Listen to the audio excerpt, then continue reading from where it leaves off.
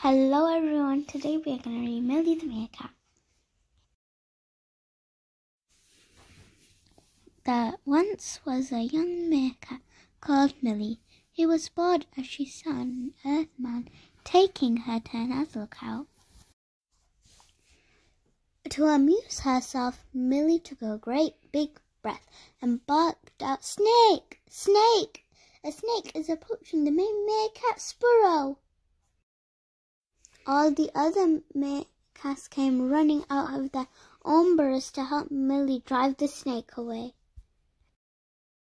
But when they arrived at the top of the mound, they found no snake. Milly laughed at the sight of their angry faces. Don't bark snake, Milly, said the other meerkats, if there's no snake. Later that day, Milly was feeling even more bored and barked out again. Snake, snake, snake is approaching the main meerkat's burrow. To her mischievous delight, Milly watched as the other meerkats rushed to the mound to help Milly drive the snake away.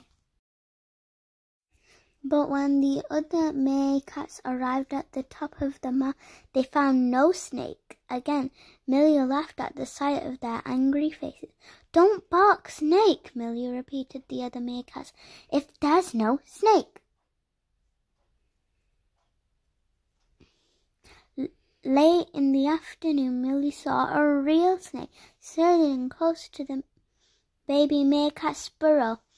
Al alarmed, Milly leaped to her feet and barked out as loudly as she could, Snake! Snake! A snake is approaching the Mary Meerkat's burrow! But the other meerkats just thought Milly was trying to fool them again, so they didn't come out to help her. Outside, as day turned to night, everyone wondered why Milly hadn't returned for supper.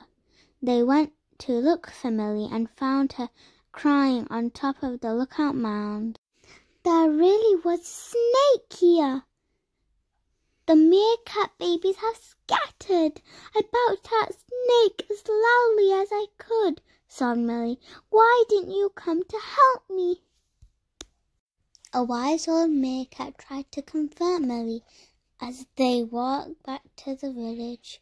We'll help you look for the lost meerkat babies, he said, putting his arm around Milly.